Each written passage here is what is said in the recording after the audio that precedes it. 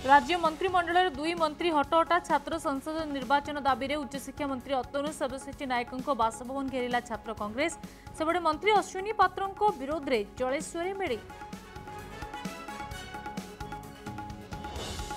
ହାତରେ ନାହିଁ ଧନ ହେଲେ ପରମାଣୁ ବୋମାରୀ ପାକିସ୍ତାନର ମନ ଆର୍ଥିକ ଅନଟନ ଭିତରେ ପରମାଣୁ ଅସ୍ତ୍ର ବନାଉଛି ପାକିସ୍ତାନ କେଉଁଠି ଓ କେମିତି ଲୁଚାଇଛି ଅସ୍ତ୍ର ଚାଞ୍ଚଲ୍ୟକର ତଥ୍ୟ ରଖିଲା ଆମେରିକାର ସଂଗଠନ ପ୍ରତିବର୍ଷ ଚଉଦରୁ ସତେଇଶଟି ଅସ୍ତ୍ର ବନାଉଛି ପଡ଼ୋଶୀ ଇଣ୍ଡିଆ ମେଣ୍ଟକୁ ଘମଣ୍ଡିଆ କହି ସନାତନ ଧର୍ମ ସପକ୍ଷରେ ବାହାରିଲେ ପ୍ରଧାନମନ୍ତ୍ରୀ କହିଲେ ସନାତନ ଧର୍ମର ଛବିକୁ ମଳିନ କରିବାକୁ ବିରୋଧୀ କରୁଛନ୍ତି ଷଡ଼ଯନ୍ତ୍ର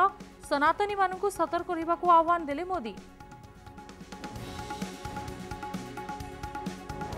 ଖୋଲୁଛି ଲେଡି ଡନ୍ ଇରାନୀର ଗୁମର ଚାକିରି କରାଇଦେବା ନାଁରେ ବ୍ୟବସାୟୀଙ୍କଠାରୁ ଲୁଟି ନେଇଥିଲେ ପ୍ରାୟ କୋଡ଼ିଏ ହଜାର ଫେସବୁକ୍ରେ ବନ୍ଧୁତା କରିବା ପରେ ବୁଣିଥିଲେ ଷଡ଼ଯନ୍ତ୍ରର ଜାଲ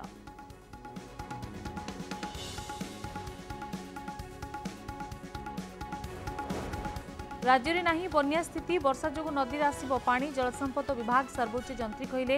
ଉପରମୁଣ୍ଡରେ ହୋଇନି ଅଧିକ ବର୍ଷା ଆବଶ୍ୟକ ପଡ଼ିଲେ ହୀରାକୁଦରେ ଖୋଲିବ ଆଉ ପାଞ୍ଚଟି ଗେଟ୍।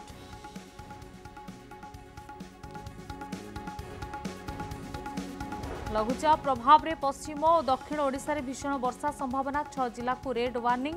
ନଅ ଜିଲ୍ଲାକୁ ଅରେଞ୍ଜ ୱାର୍ଣ୍ଣିଂ ତଳିଆ ଅଞ୍ଚଳରେ ପାଣି ଜମିବା ସହ କଚ୍ଚା ଘର ଭାଙ୍ଗିବା ସମ୍ଭାବନା ଜରୁରୀ ନଥିଲେ ଘରୁ ନ ବାହାରିବାକୁ ପରାମର୍ଶ।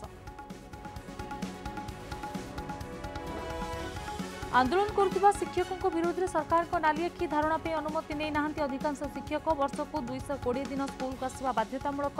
ତୁରନ୍ତ ଆନ୍ଦୋଳନ ବନ୍ଦ କରି କାମରେ ଯୋଗ ଦେବାକୁ ଅପିଲ